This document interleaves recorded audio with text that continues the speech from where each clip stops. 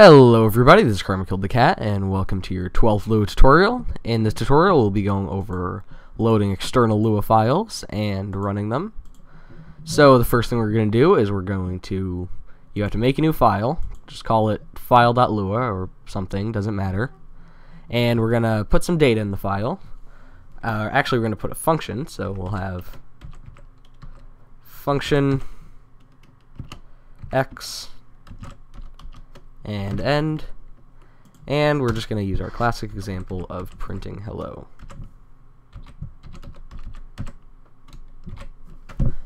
So, oh, by the way, you have to save file.lua in the same folder that you have your original Lua file.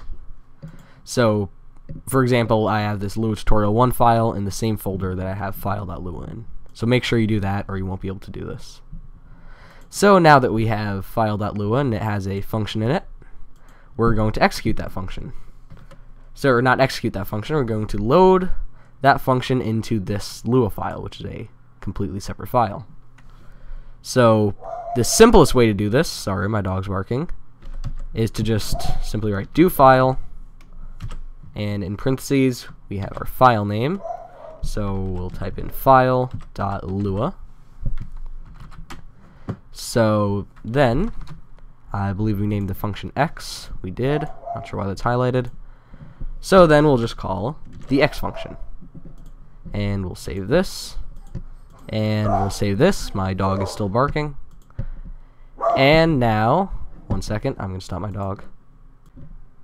And now if we save this, and we save file just to make sure. So if we save this, and then we run it, open, we get hello.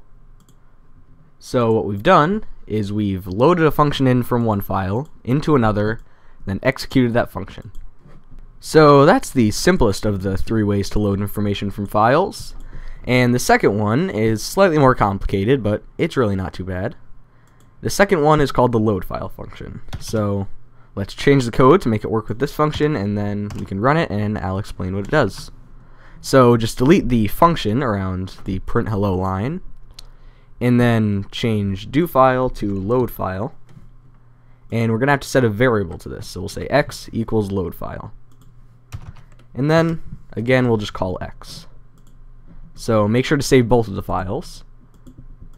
You can't just save this one, you have to save both, or else it won't work. So now let's open this, and we get hello, just like before.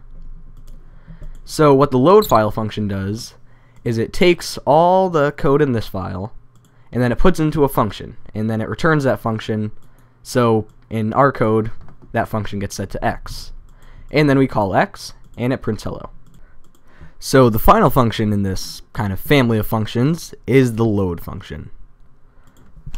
So load is very similar to loadfile but instead of executing a file, which in this case would be file.lua, it executes a string. So whatever is in the string given as a parameter will be executed. So we can say print hello. Uh-oh. Oh, I see. We need to use these. Uh, you can use apostrophes instead of quotation marks if you need to embed uh, quotes so we're still print we're still printing hello here. We just have to use apostrophes to avoid ending the string early. So if we save this and run it, we don't have to save both files because we're not doing anything with file.lua anymore. We uh-oh. We got an error. One sec. So it turns out that the load function isn't compatible with uh, the version of Lua I'm using. I'm using Lua 5.1 and the latest version is 5.2 but as far as I know there's no way to get Lua 5.2 for Windows. You can only get it on Mac and Linux.